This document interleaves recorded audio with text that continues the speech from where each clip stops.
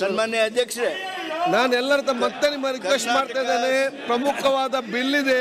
ಅದರ ಬಗ್ಗೆ ಚರ್ಚೆ ಮಾಡಿ ಸ್ವಲ್ಪ ಜನರ ಬಗ್ಗೆ ಕಾಳಜಿ ವಹಿಸುವಂತ ಅವಕಾಶ ಮಾಡಿ. ಜನರು ನಿಮ್ಮನ್ನು ಗೆಲ್ಲಿ ಕಲಿಸಿ ಇಲ್ಲಿ ಕ್ಲಾಪ್ ಹೊಡಿಲಿಕ್ಕೆ ಅಲ್ಲ ಅಲ್ಲಿ ಕೂತ್ಕೊಂಡು ಬಿಲ್ ಬಗ್ಗೆ ಚರ್ಚೆ ಮಾಡಲಿಕ್ಕೆ ನಿಮ್ಮನ್ನು ಕಲಿಸಿದ್ದಾರೆ ಅಂತ ಅರ್ಥ ಮಾಡಿಕೊಳ್ಳಿ.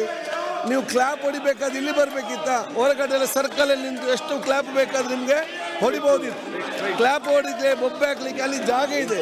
ನಿಮ್ಮ ನಿಮಗೆ ಆಸನ ಕೊಟ್ಟಿದೆ, ನಿಮಗೆ ಮೈಕ್ ಕೊಟ್ಟಿದೆ, ನಿಮಗೆ ಇಯರ್ಫೋನ್ ಕೊಟ್ಟಿದೆ.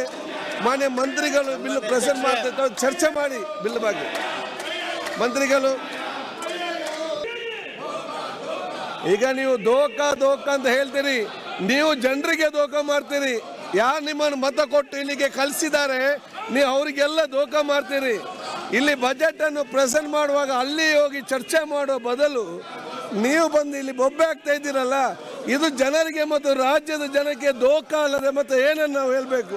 ಅದಕ್ಕಾಗಿ ಮತ್ತೊಮ್ಮೆ ನಾನು ನಿಮ್ಮ ಹತ್ರ ದಯಮಾಡಿ ನಮಗೆ ಬೇಡಿಕೊಳ್ತೇನೆ, ತಮ್ಮ ಆಸನಕ್ಕೆ ಹೋಗಿ ಈ ಬಿಲ್ಲುಗಳಲ್ಲಿ ಚರ್ಚೆ ಮಾಡಿ ಭಾಗವಹಿಸಬೇಕೆಂದು ಮತ್ತೊಮ್ಮೆ ಕೇಳಿಕೊಳ್ತಿದ್ದೇನೆ. ಎರಡರಿಂದ ಎಂಬತ್ತ ಮೂರರವರೆಗಿನ ಖಂಡಗಳು ವಿಧೇಯಕದ ಅಂಗವಾಗಿರಬೇಕು ಎನ್ನುವುದು ಸಭೆಯ ಮುಂದಿರುವ ವಿಷಯ. ಪ್ರಸ್ತಾವದ ಪರವಾಗಿರುವವರು ಹೌದು ಎಂದು ಸೂಚಿಸಬೇಕು. ಪ್ರಸ್ತಾವದ ವಿರೋಧವಾಗಿರುವವರು ಇಲ್ಲ ಎಂದು ಸೂಚಿಸಬೇಕು. ಪ್ರಸ್ತಾವವು ಹೌದು ಎನ್ನುವ ಪರವಾಗಿದೆ ಎಂದು ಭಾವಿಸುತ್ತೇನೆ. ಪ್ರಸ್ತಾವವು ಹೌದು ಎನ್ನುವ ಪರವಾಗಿದೆ. ಪ್ರಸ್ತಾವಕ್ಕೆ ಒಪ್ಪಿಗೆ ದೊರಕಿದೆ. ಎರಡರಿಂದ ಎಂಬತ್ತ ಮೂರರವರೆಗಿನ ಖಂಡಗಳು ವಿಧೇಯಕದ ಅಂಗವಾದವು. ಒಂದನೇ ಕಂಡ ಹೆಸರು ಮತ್ತು ಅವತರಣಿಕೆ ವಿಧೇಯಕದ ಭಾಗವಾಗಬೇಕೆಂಬುದು ಸಭೆ ಮುಂದಿರುವ ವಿಷಯ. ಪ್ರಸ್ತಾವದ ಪರವಾಗಿರುವವರು ಹೌದು ಎಂದು ಸೂಚಿಸಬೇಕು. ಪ್ರಸ್ತಾವದ ವಿರೋಧವಾಗಿರುವವರು ಇಲ್ಲ ಎಂದು ಸೂಚಿಸಬೇಕು. ಪ್ರಸ್ತಾವವು ಹೌದು ಎನ್ನುವರ ಪರವಾಗಿದೆ ಎಂದು ಭಾವಿಸುತ್ತೇನೆ.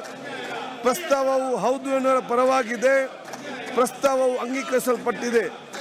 ಒಂದನೇ ಕಂಡ ಹೆಸರು ಮತ್ತು ಅವತರಣಿಕೆ ವಿಧೇಯಕದ ಅಂಗವಾಗಿದೆ. ಮಾನ್ಯ ಸಚಿವರು ಅಂಗೀಕಾರ ಪ್ರಸ್ತಾವವನ್ನು ಮಂಡಿಸಬೇಕು. ಸನ್ಮಾನ್ಯ ಅಧ್ಯಕ್ಷರೇ ವಿಧೇಯಕವನ್ನು ಅಂಗೀಕರಿಸಬೇಕೆಂದು ತಮ್ಮನ್ನು ಕೋರುತ್ತೇನೆ. ಪ್ರಸ್ತಾವನೆಯನ್ನು ಮಂಡಿಸಲಾಗಿದೆ. ಅದನ್ನು ಈಗ ಸಭೆ ಮತಕ್ಕೆ ಹಾಕುತ್ತೇನೆ. ಇಪ್ಪತ್ತು ಇಪ್ಪತ್ತ್ ಮೂರನೇ ಸಾಲಿನ ಕರ್ನಾಟಕ ಸರ್ಕಾರಿ ವ್ಯಾಜ್ಯ ನಿರ್ವಹಣೆ ವಿಧೇಯಕವನ್ನು ಈ ಸಭೆಯು ಅಂಗೀಕರಿಸಬೇಕು. ಪ್ರಸ್ತಾವದ ಪರವಾಗಿರುವವರು ಹೌದು ಎಂದು ಸೂಚಿಸಬೇಕು.